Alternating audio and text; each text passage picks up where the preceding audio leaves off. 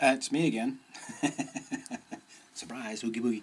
Um, just one of the like I was talking in that video a minute, my, my seminars are uh, high impact, fun, uh, demanding. Uh, I did a, a, seminar a few years ago in Zurich, and a gal from England who was pretty desperate was in the class, and the and it got to be six o'clock Saturday evening, which is not even close to quitting time for me. Uh, we work most of my seminars Friday from 7.30 about uh, till about midnight. Uh, we do give you breaks and you can get coffees and things when you're sitting teas and whatever you want when you're uh, working.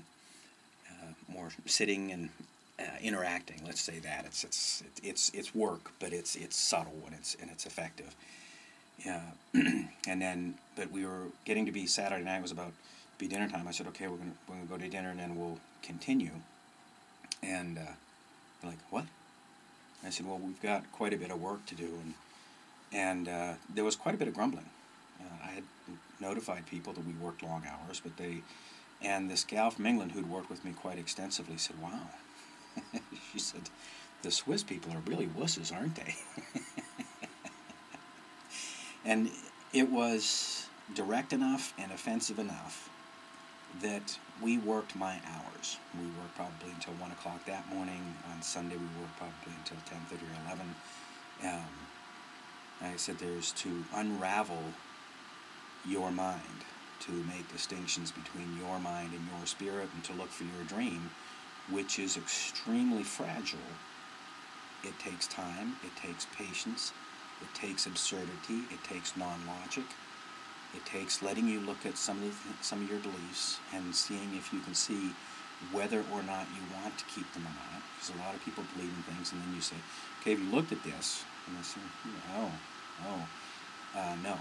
But the point of this video is, uh, I travel. I do seminars wherever people want me.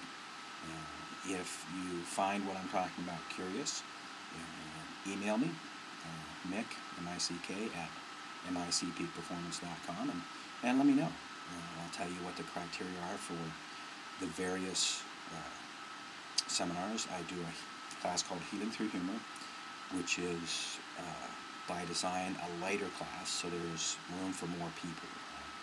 I can work with about 30 to 35 people in that, and I need uh, 12 people minimum uh, before I can make a move. Uh, self-actualization is another. I can only work with 12 people at a time because of the demands of the nature of taking somebody to self-actualization. Healing through humor is to get you in touch with your inner heal, the fact that you can heal.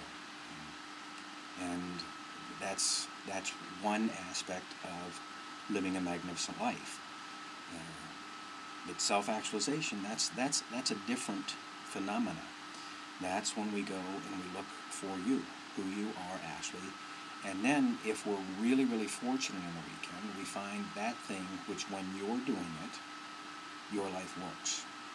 And when I say that, what I mean is that when you're doing it, you can be fairly assured that that little voice inside your head will not be ruining your day, or many, many days after the seminar. When I work, I go out of my mind, and it's very refreshing. Uh, I do that intentionally and then for days after, life doesn't make any sense. It's perfect, but it doesn't make any sense. If it sounds curious, if it sounds like something you're willing to go through, uh, I've told people for years I'm destructive by nature, and there are parts of people's lives that need to be destroyed in order for them to find them. Uh, the real truth of the matter is, I enjoy the destruction. As we go through it, we go through it together um, I have found a way to find that entertaining. To me. www.micpeakperformance.com